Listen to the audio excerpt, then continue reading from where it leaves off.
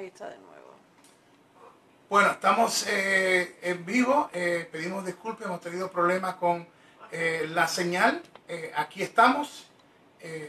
Bueno, se dice que la tercera es la vencida, así que esto es edición especial de Atangana Show dedicado para México y Puerto Rico. Habíamos estado hablando sobre el Page, eminente regreso de ella a, a, lo que es eh, WWE, está en el Performance eh, Center, así que, eh, eh, ¿qué, les, qué les parece eh, esa noticia? También estaremos hablando sobre los comentarios que hizo el presidente de Ring of Honor sobre Daniel Bryan, de que las puertas estaban abiertas para él si quería volver a, a Ring of Honor, Daniel Bryan. ¿Cómo trabajará esto? ¿Será algo que eh, ponga presión a que Vince McMahon eh, piense en permitir que vuelva al ring eh, Daniel eh, Bryan? Eh, sabemos eh, de antemano que la, eh, la esposa de Daniel Bryan eh, no está en contra de que él vuelva siempre y cuando reciba el visto bueno del doctor. Ahora el problema, el problema es que un doctor fuera de WWE te puede dar el, te puede dar el visto bueno, pero el visto bueno que sirve para que él vuelva a WWE no es el que te da otro doctor. Tiene que ser eh, el doctor o la, la junta de doctores que son los que hacen todos los eh, exámenes, que es lo que te garantiza ah, de que tú eh, puedas volver a luchar en lo que es WWE. Así que eso pone ir a Tangana a, Lucha Libre Online para poder este, ver los comentarios. eh, perfecto a, a lucha libre online. ¿no? Sí, ahí estamos.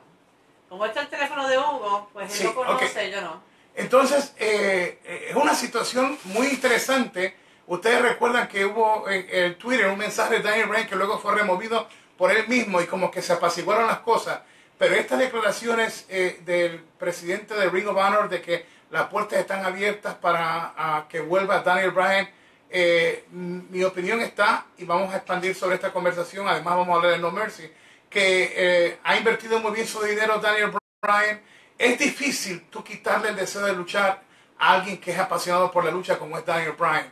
Y además que se siente que todavía tiene mucho que dar. Así que vamos a tocar mucho más de eso en sus comentarios. Y por supuesto el regreso de Page ya está en el Performance Center.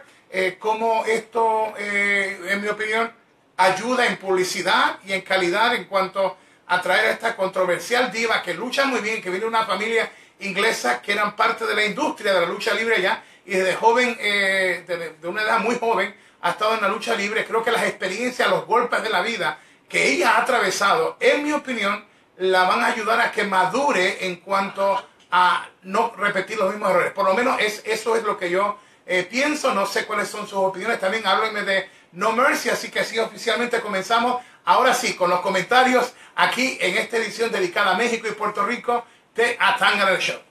Bueno, Nicolás González Arriola, saludos desde Chile. Creo que Daniel Bryan no debería volver a luchar, debería pensar en su salud y en su hija. Bueno, pero también recuerda que fue la misma esposa, la mamá de la hija de Daniel Bryan, que le dijo, si el doctor te da el visto bueno, yo no tengo problema en que tú vuelvas. El sueño de un atleta, de un luchador, aunque hay un riesgo, si ellos dos, eh, la esposa y él, entienden que el riesgo, aunque es un riesgo, y créame que estés en la situación de Daniel Bryan o no, una vez que te metes por esas cuerdas de acero a un ring tan duro como es el ring de la lucha libre, eh, cualquier cosa puede pasar. Pero si ella está de acuerdo en que su marido luche y el marido, Daniel Bryan, quiere eh, volver al ring, tú no puedes cortar, no le puedes cortar las alas a un águila que quiere volar porque eso es lo que sabe hacer un águila, volar y cazar. Bueno, por aquí Edicer Papo Bracero García dice, hubo una comunicación para Puerto Rico. Mire, yo pude llamar a mi sobrino hoy. Él me estaba diciendo que él recibe llamadas de afuera, no de Puerto Rico. De Puerto Rico a Puerto Rico no puedes llamar, pero sí De te afuera. puede- de afuera hacia Puerto Rico sí, pero que se pueden textear entre ellos. Eh, están diciendo el texto sí está pasando de la gente, dentro de la gente en Puerto Rico. Así que eh, Eh, dice Luis Álvarez, hola Hugo, sería un movimiento muy estúpido negarle a Daniel, Bryan la posibilidad de parte de WWE. Un saludo desde Colombia. Un saludo para Colombia, esa es la opinión de un colombiano que ama a la lucha libre y a Daniel Bryan quiere que vuelva. Por aquí Valentín Higena eh, dice Raúl, saludos desde Argentina. Un saludo para mi gente en Argentina y toda la gente que nos está viendo y escuchando en este momento sus oraciones por eh, Puerto Rico y por México y en lo que se pueda contribuir. Si no tienes económicamente para ayudar, eh, una oración de, que, de que Dios haga milagros en estas en estas dos naciones, una inmensa como es México y la otra pequeñita en el Caribe, pero con un gran corazón. Así que ya sea económicamente o ya sea con oraciones, eh, eh, tienes que estar ahí respaldando a México y a Puerto Rico. Vamos con más comentarios. Bueno, por aquí eh, nos dice Luis Escalante, dice, vamos con toda la fe. Marco Bay Amén Bayonder Luna dice, Hugo, pido oración, por favor para mi familia, en especial para mi abuela Gloria Herrera, en el nombre de Jesús, para la unión familiar. Declaramos que Jehová Rafa, que en hebreo significa el Dios de paz, esté en tu familia. Eh, eh, eh, perdón, Jehová Shalom. Jehová Rafa es el sanador, pero Jehová Shalom, que la paz de Dios esté contigo, con tu abuelita y tu familia. Y con tu familia. Claro que no hay nada que Dios no pueda restaurar. dice por aquí. Jerry Bass González dice, trato de oírte, pero como hablas mal de la lucha de Puerto Rico, después que te dieron de comer, no mereces respeto. Wow, no, no, pues yo, yo sé que te has equivocado en los comentarios. no, no, Ahora, no, no, pero si no me respetas no tengo ningún problema con eso porque tu opinión yo, tu opinión yo sí la respeto. Lo que he dicho, y esto, si tú, si ahora mismo yo hago esta pregunta a la gente que ama la lucha libre en Puerto Rico, y mira, que he hablado con uno que es dueño de una empresa en Puerto Rico, que es el señor Sabio Vega, mi amigo, mi hermano. Y es de los primeros. Tú hablas con los luchadores profesionales de Puerto Rico, no conmigo, y te van a decir, pues yo nunca he dicho los luchadores. Escucha esto, es más, en la cartelera de Misterio Manía Tributo me decía que, que, se pospuso. Si tú miras a ver en esa cartelera, en la lucha estelar tengo a un puertorriqueño, a Meca, a Meca Wolf 450. Eh, tengo al luchador que el muñecazo maneja en ese día, a, a, a Monster Pain contra mi hermano. Sabio Vega que esa noche... Se le está haciendo un tributo a un puertorriqueño. que lucha eh, como eh, el hombre dinamita con el profe, que es puertorriqueño también, y como dijo la rubia, otro de mis hijos espirituales, el Mesías Ricky Bandera, puertorriqueño, le, se le está haciendo el tributo a él. Tengo la lucha en pareja por, de, por eh, sacar retadores para los campeonatos mundiales en pareja. Nueva generación de luchadores puertorriqueños. Al sensacional Star Roger con el más extremo Cuervo versus Mike Mendoza y el hombre que está de moda, Ángel eh, Fashion. La campeona mundial, estrella de lucha underground, es boricua y defiende el campeonato mundial allá. Eh, uno de los luchadores que yo siempre llevo en mis producciones internacionales y que no está ahí es por asunto de que su papá es el dueño de la empresa en Puerto Rico. Pero, se le llamó y se le dijo, si quería estar en esta cartelera. Así que en esa parte sí yo te digo, no, yo amo la lucha libre. Eh, le di muchos años a la lucha libre en Puerto Rico. Lo que pasa es que tú no puedes estar ciego y no ver que se le ha faltado respeto al, al, al, público. y a los luchadores puertorriqueños. No se les paga a los luchadores y eso es lo que yo he hablado. Pero yo, mire, yo bendigo al señor Carlos Colón, al señor Jovica. Eh, yo no tengo ningún problema con ninguno. Es más, mi arreglo para ir a Puerto Rico es ir con una sola cartelera al año, porque no quiero estar envuelto en las disputas de empresa y presentar a la gente un buen espectáculo, algo que, que, que sea de una gran producción. Y el coproductor es puertorriqueño, José Roberto, que fue productor de la empresa del señor Carlos Colón, el señor Jovica. José Roberto es el productor conmigo. Eh, tengo en el equipo de producción a José Vázquez, eh, que es también mi, jefe de prensa. A Just Perfect, está en la parte, la parte creativa de producción, eh, que es Carlos E. Cruzado, que es puertorriqueño también. El promotor del evento es Cobrita, Erwin Vázquez Ortega. Y si alguien te puede decir de quién es Hugo y cómo yo amo y respeto a los luchadores en Puerto Rico, soy yo. Porque la respeto es que llevo Misterio Manía Tributo al Mesías con luces, pantalla y sonido, tan pronto podamos llevarla. Pero en esa parte, como te digo, si no me respeta no tengo problema. Pero sí quería explicar. Infórmate que está oyendo mal. No, no, no, no, pero, es importante, es importante que sepa la persona que puso eso, que así como la rubia lo leyó, lo leyó públicamente, yo no tengo ningún problema en que tú no me respetes, pero por lo menos te doy te doy, eh, te doy la información correcta para que sepas que eh, en lo que yo pueda, yo quiero ayudar a la lucha libre y lo he ayudado. Yo dejé mi sangre, dejé todo eh, por años allá en Puerto Rico y, y quiero que la lucha se levante. Ese es el problema. Yo quiero que la lucha se levante. Es que, es que tú nunca has hablado mal ni de eso en Puerto Rico, ni en México, ni en ninguna parte del mundo, porque nosotros somos fanáticos de la lucha libre. sino que he apuntado la realidad, cómo no se está respetando al público, al fanático, y no se le está dando a la gente ni a los mismos luchadores la oportunidad de que vuelva a estar el circuito grande de la lucha libre como era antes Puerto Rico, que era la empresa que controlaba todo el Caribe, hasta Panamá, con los programas de lucha estamos poniendo a puertorriqueños en, en, en luchas estelares porque queremos que brille el luchador puertorriqueño. Así que con eso dicho, que Dios te bendiga. Bueno, Diego Cuadrado dice, uh, ayer fue mi cumpleaños. Saludos. ¿Cuál, cuál es Diego? Cuadrado, happy birthday. Happy birthday. En Ecuador dicen que vive el santo. Dice, ¿crees que Brinzago pueda ser un gran producto para la WWE? Hay que verlo, hay que verlo. Yo soy de las personas que creo que esto, esto no es de una lucha o dos luchas. Eh, eh, es, es fuerte. Tú mantenerte bajo la presión de una empresa como WWE, donde estás activo todos los días y donde hay tanta competencia y hay guerras detrás de lo que la gente ve y hay celos y hay envidia. eh, poder sobrevivir en este tipo de jungla eh, es, tan, es tan difícil en el ring, pero muchas veces más difícil fuera del ring. Bueno, por aquí, eh, Jert7 dice, mándame tus bendiciones, Hugo, soy de la capital mexicana. Te bendecimos a ti, a tu tierra, en el nombre de Jesús. Gracias por estar con nosotros. Y dile a tu gente que Lucha Libre Online, la rubia, el hijo de Doña Mélida, la Shushi, Titi Angie y toda nuestra gran familia de fanáticos que nos reunimos en programas como este, estamos con ustedes, con México y Puerto Rico.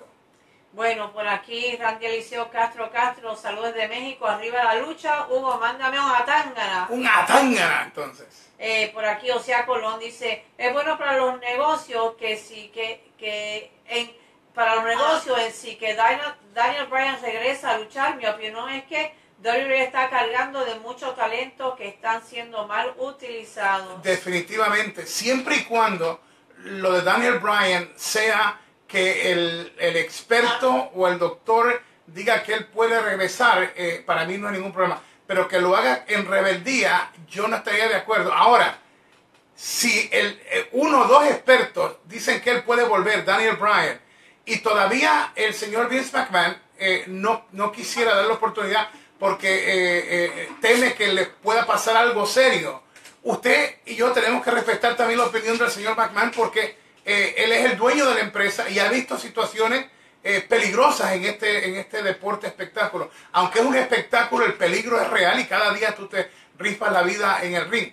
Pero si fueran dos expertos en medicina deportiva que, que dicen que, puede volver Daniel Bryan, aunque el médico de WWE dijese que no volviera, yo estaría dispuesto, y claro, eh, eh, estaría dispuesto con la gente de Wrestling Superstar, con otros promotores que hacen negocios conmigo, para ver si yo podría ah, hacer el tipo de negocio que estaba haciendo con los Hardys y con los Young Bucks, eh, con Carlito Caribbean Cool, de cómo, aunque tuvieran, en el caso de los Young Bucks y los Hardys, tuvieran unos contratos con empresas, eh, se trabajara un acuerdo con estas empresas para que yo pudiera utilizar los servicios de Daniel Bryan, por lo menos firmarlo eh, por tres combates, y creo que, que, que, fuera de WWE y- y, bueno, muy pocas empresas le podrían hacer una mejor oferta que, que este servidor y los promotores que trabajan conmigo, porque yo lo visualizaría como el regreso de, eh, obviamente tendría que meterle la parte del nombre que era conocido antes como The Dragon Returns, el dragón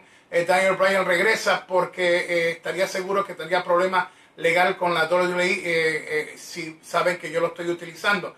Está- estamos especulando que no sería yo el único, porque en esa lista se uniría también, eh, si es Ring of Honor, estaría New Japan Pro Wrestling envuelto, pero ese es el mismo negocio que tengo, que he tenido con los Young Bucks y tuve con, con Impact Wrestling, con los eh, Hardys, que yo podía utilizarlo siempre y cuando no fuera una competencia directa al producto de ellos. Pero yo sí creo que puedo tener por lo menos tres lugares donde puedo confeccionar una, una cartera. Y no te voy a decir el nombre ni nada porque aquí hay promotores que lo están viendo y escuchando y me, y me robarían la idea. Pero hay, hay, hay infinidad de cosas que tú puedes hacer con alguien con la calidad de Daniel Bryan y con una historia como la que él tiene. Y no voy a abundar más en esto porque eh, hay una puerta que está abierta a todo esto y no quiero dar demasiada información para que no me la robe otro promotor Bueno, o otro productor. Por aquí Yoli López dice, hola Uy Rubia, bendiciones de Providence, Rhode Island, nos saluda Yoli. Dice, ¿qué ha pasado con Samoa Joe y crees que Roman Reigns vuelva a ser rudo? Bueno, lo último que ha estado pasando es que prácticamente con John Cena, Roman Reigns ha, estado por ese lado, ha estado como... Y es que eso es lo que debió haberse hecho desde un principio, pero ya lo hemos repetido tantas veces. Y yo creo que el factor Cena está ayudando en este evento de No Mercy a que por...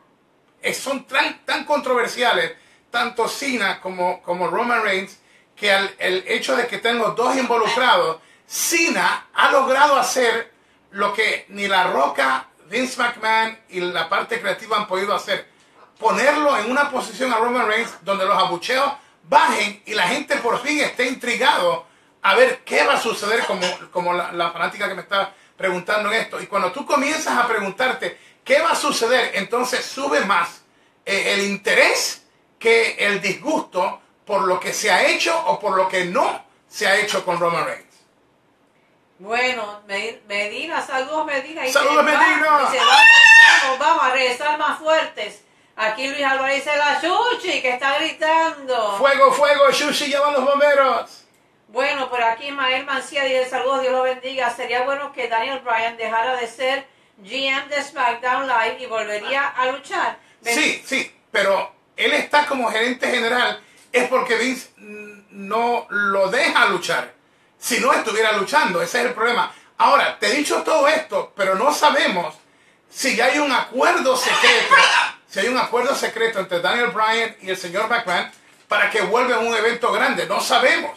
Cuando, cuando comienzan a dispararse todas estas controversias es porque puede haber algo cocinándose dentro de la olla. Así que todo eso tenemos que nosotros estar conscientes. Sería una lástima que no pudiéramos volver a ver a Daniel Bryan en el ring. Pero si su salud es lo primordial y de verdad él no puede volver, yo, yo soy de los primeros en decir, yo prefiero mejor eh, eh, que él pueda eh, proteger su matrimonio, su esposa, su niña, eh, pero si puede volver, eh, sería una, una bendición para todos los que amamos Bueno, la lucha también libre. dice Ismael Mancilla, bendiciones para mi tierra México y para Puerto Rico, dos grandes naciones que estarán de pie nuevamente. Amén, seguro que sí, más fuerte, eh, eh, algo tremendo. Hablé con el Mesías Ricky Bandera, porque de momento, de, durante el terremoto en México, quedó, él había regresado del luchar de Chicago y quedó en llamarme y no escuché de él y yo le seguía llamando, dejando texto, dejándole mensaje, llamándolo por WhatsApp.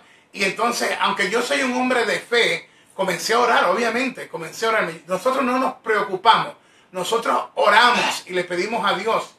Eh, y finalmente me llega la comunicación con Bandera donde, donde me dice Ricky, el Mesías Bandera, que lo que él vivió, lo que vivió su esposa, su cría, su criatura, fue algo que ni una película de Hollywood lo puede sentir. Era como que si se, eh, se abría todo por completo. Es algo que parecía como que si no estuvieras eh, pisando concreto o tierra, era como si estuvieras en, el- en- en- en una tabla de surfing, en, en el oleaje en ese momento. Y, las palabras eh, descriptivas del Mesías Ricky Bandera, recuerden que él ha vivido por años en México. Eh, yo estuve en una ocasión en uno de los temblores que hubo en México, pero, pero el Mesías Ricky, eh, Ricky Banderas ha estado por muchos años, 12 años en México y sabe lo que es temblores, ha estado en momentos difíciles, pero me dice, Hugo, esto, esto, esto fue, como dice el idioma eh, Ricky, el Mesías Banderas, esto estuvo cañón, cañón es la palabra que usa Bandera. El Ricky lo, lo, lo, lo escuchamos, se lo dije a la rubia, es algo, algo tremendo. Vamos con más comentarios. Por aquí Luis Álvarez, Luis Álvarez dice, Hugo, yo te respeto y te tengo un aprecio enorme. No hagas caso a esos comentarios. Yo agradezco lo que haces con la lucha. Te queremos. Tengo un pequeño canal de YouTube inspirado en la lucha gracias a ti. Muchas gracias. Y como te digo, yo no tengo ningún problema que, que, que alguien yo no le simpatice Bueno, y- y o de- que me critique. Lo que sí necesitaba era plantearle que, que, que, que- esto es lo que yo hago de por hecho- los luchadores. Y de hecho, Jerry Bass González, que fue el que escribió, dice gracias por leer mi comentario y aclarar. Claro, la- la- la- dice que la- la- hablando la gente se entiende. Ahora, vuelvo e insisto, en este programa y en Lucha Libre Online, si yo no le caigo bien a usted, aquí la rubia lo va a decir, ¿sabes por qué? Porque aquí lo importante son ustedes. Mi, mi trabajo es como productor presentarte los mejores eventos y como uno de los anfitriones del programa es que tú tengas una tribuna no tapo- donde tú te puedas donde tú te puedas expresar. Yo no tapo comentarios entre nosotros, lo que sí yo no leo comenta- comentarios en contra de otras personas. especialmente con compañeros que se ganan la vida en narración en español. Esos comentarios- Somos muy, somos muy, ¿sabes por qué somos muy celosos en eso? Porque como yo estoy envuelto en esa parte, tengo que respetar a, mis compañeros. Eso no quiere decir que yo no pueda hacer un comentario, vamos a decir, de, de, eh, los anunciadores de SmackDown en inglés, eh, pero en nuestro idioma, en nuestro idioma, te- especialmente en la empresa donde yo estuve, tengo que tener mucho cuidado por la amistad que tengo y porque no quisiera que esto se convirtiera en un chisme o en otras cosas. Ahora, la opinión de ustedes, nosotros siempre la respetamos. Bueno, por aquí dice Cangri, New York, dice, hola Hugo, Dios te bendiga siempre a ti, tu esposa y familia. Barbie desde Connecticut, pero original de Humacao, Puerto Rico. Humacao es la tierra del supermédico de José Estrada, Jet Set Estrada. Eh, hoy eh, Rico Suave puso en su página que lamentablemente su hermano menor, Eric Estrada, perdió su casa en Humacao. Así que nuestras oraciones están con Rico Suave y su familia en Humacao. Y para todas nuestras amistades allá en Humacao. En Humacao también viven otros luchadores, los bendecimos. Ahí a toda esa gente, eh, este, eh, si ustedes se comunican con ellos después por texto, le dicen que Hugo eh, eh, ha estado orando por Puerto Rico y por toda su gente allá. Bueno, y por México. Camilo Junca dice, la mejor fue la, me- la mejor fue empresa, eh, empresa fue la IWA y, re- y espero que la WWL siga haciendo el trabajo y no se caiga por WWC. Es buena empresa, pero no valora el talento que tienen, pues, por eso se fueron para otras empresas.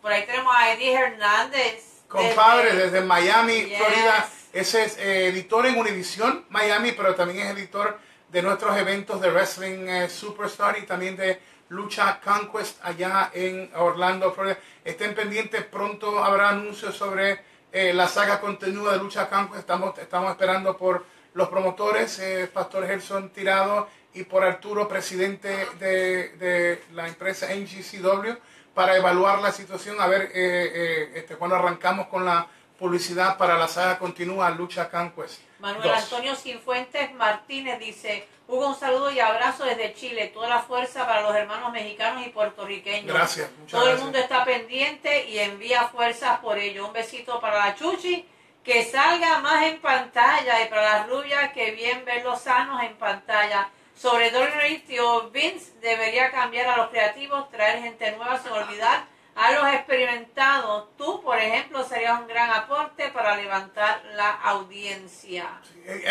Hay una situación que también le dije a la gente en el pasado programa, y es que Shane volvió a WWE, pero no volvió con el poder del hijo del dueño, volvió como un contrato como estrella. Entonces, con ese contrato, lo que se especula eh, es que tiene dos luchas al año en el contrato y el resto son participaciones en televisión como parte de lo que es el mando de una marca. Pero cuando Shane no tiene la oportunidad de dejar sentir su opinión, yo creo que se debilita. Una de las cosas que yo tenía la oportunidad, que en este momento es difícil que tú tengas, es que yo podía hablar con el dueño de la empresa sin tener una cita previa, porque la relación con, con, con Vince McMahon, de hecho, eh, con él yo le decía a Vince, y de- cuando veíamos a Doña Linda, era un besito a Doña Linda, a Stephanie, como, cono- o sea, mi esposa ha estado ahí, mis hijos también saben cómo es la relación. Había una situación donde yo siempre lo respetaba, pero había una confianza en cuanto a la parte creativa y si no le gustaba la idea, pues mira, no le gustaba. Usualmente una persona que tiene visión no detiene a gente a que le sugiera algo o le plantee una visión, sino que si no se puede utilizar eso, él entonces te dice o ella te dice, ¿por qué no se puede utilizar eso? Una de las palabras que me dijo Vince McMahon a mí me dijo, Hugo, yo no te puedo enseñar llegar a la luna, pero te puedo bajar de la luna. Entonces una persona creativa no impide que la gente crezca, sino que si, si van por, por un camino que no es la visión correcta, usted tiene que ponerlo de nuevo en la atmósfera correcta para que cuando suba sube al lugar eh, correcto. Y eso es lo que hace el señor McMahon. De la Rosa Collado, eh, Brian dice, saludos Juguito desde República Dominicana. ¿Crees que en algún futuro traiga un evento a la República? A la República, gracias para los dos. Eh, ha sido nuestra intención. El problema es que la- las personas que quieren llevarnos no quieren invertir en el producto completo, solamente quieren que yo eh, sea el productor, pero solamente con una o dos luchas eh, estelares. Y ese no es, o sea, eh, yo tengo una marca más pequeña en América del Sur, aparte de Wrestling Superstar. Wrestling Superstar tiene Superplex, que es una marca donde cuando se hacen los eventos se tiene un, un evento grande estelar de estrellas internacionales. Y ahí nuestra faceta es seguir eh, levantando el talento chileno y haciendo historias para crear un lugar donde los chilenos puedan surgir y ocupar lugares estelares, no solamente en Superplex, sino luego en Wrestling Superstar, y que lo hemos estado haciendo Claro. muy bien. Pero eh, ir a otro país y no poder llevarte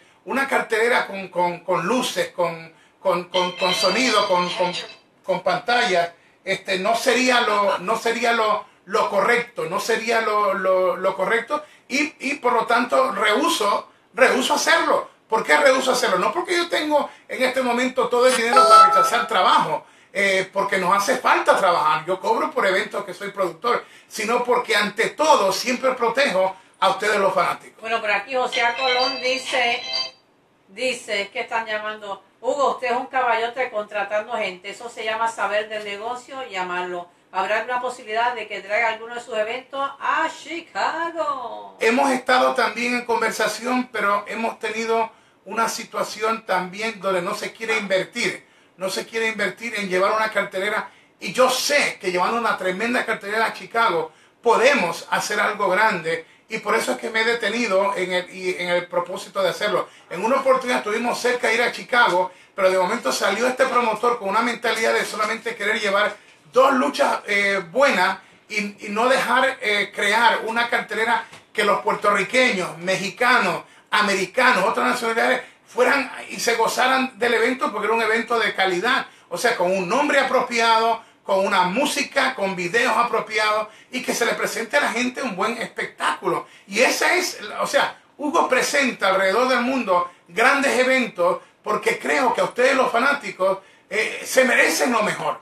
Por aquí Andrei Víquez dice, Hugo, ¿por qué Owen Hart no está en el Hall of Fame de la WWE? Creo que merece estar ahí. Bueno, ha habido, eh, sin excusar a, a WWE, pero han habido problemas legales con la viuda. Es más, hubo un momento dado que ella no quería, y no sé si tiene un, un impasse todavía, eh, Daniel Bryan tiene un público que, que lo, lo quiere y, y- lo, y lo respeta, y respetado entre los luchadores. Eh, si no es así, y de verdad Vince teme por la vida de Daniel Bryan, y él, él se va de la empresa, eh, vuelvo y repito, si no lo escucharon, eh, yo estaría dispuesto a hacer el mismo negocio que hice con los Hardys y con los Young Bucks, de firmarlos por ciertas luchas y agrupar en ese negocio a promotores que trabajan conmigo para poder crear unas tres, o sea, el inicio sería hacer tres producciones gigantescas, ofrecerle un billetaje tremendo para que me, me firme por esas tres fechas con una, con una condición de que si cumplo con las expectativas en cuanto a los contratos y aparte de lo, de lo que es la, la venta de su mercancía y todo, de que él me dé otros, otras tres fechas. Si eso se logra, entonces yo creo que podría hacer el sueño realidad de ponerlo en luchas como el público quiere verlo y no solamente necesariamente contra un, luchador que ha estado en WWE, sino que tengo, tengo, bueno, ya en mi mente tengo unas listas tremendas y, otras historias, porque historias son buenas, pero si tú tienes el material humano de excelencia, puedes crear excelentes historias. Por aquí Diego Armando Lemus eh, Serna dice, NXT es cada vez mejor que Raw y SmackDown. El campeonato del Reino Unido se ha defendido mejor que los mundiales de cada marca. Dios bendiga a México y a Puerto Rico. El problema que tenemos con lo del Reino Unido es que la parte de los ratings ha, sido bien mediocre y es porque eh, pasa lo mismo que con el campeonato crucero y con lo que ha pasado con las divas también. Comienzan con un empuje y luego eh, parece que la, que la misma parte creativa eh, quiere asesinar estos proyectos. Y entonces lo que puede ser eh, algo de ensueño se convierte de momento en una, en una, en una pesadilla, pero hay, hay un mundo de alternativas. Reino Unido, el campeón de allá, el campeón de NXT, esto, lo otro, o sea, hay tantas cosas, y más cuando tú tienes plataformas eh, como la cadena WWE, la plataforma de su internet, la plataforma de una programación global en cuantos idiomas, en cadenas inmensas, pero de nada sirve tener televisión si no estás haciendo las cosas bien. Y en este momento la parte creativa no está haciéndose, eh, no se está haciendo bien. Irving Alan Ponce Hernández dice, Hugo, tú eres la voz de los latinos en WWE. Salud desde México. Un saludo para ti, para México. Dios bendiga a México. Dios bendiga a Puerto Rico. Denzel, Denzel eh, Cormon dice, Hugo, México se está recuperando. Gracias por tu mensaje de apoyo. Jorge Edgar MT dice, Hugo, ¿qué piensas de los sismos? Lo, este, lo he dicho, eh, miren, eh, eh, todo lo que, lo que hay alrededor de nosotros está sujeto a una creación. Y hay, hay, hay cosas como cuando usted describe lo que es el agua, hay átomos, hay eh, H2O, que es eh, dos átomos de hidrógeno o de oxígeno, que, que son ciertas cosas que no se pueden violentar. Eh, el sistema de este planeta funciona de una manera que no es programada por Hugo, ni es programada por Diana, ni por un país, ni por otro, sino que es el planeta Tierra, fue creado y tiene un sistema, es como nuestro propio cuerpo. Tú le das a tu cuerpo los alimentos correctos y el cuerpo mismo se defiende de muchas enfermedades. Eh, eh,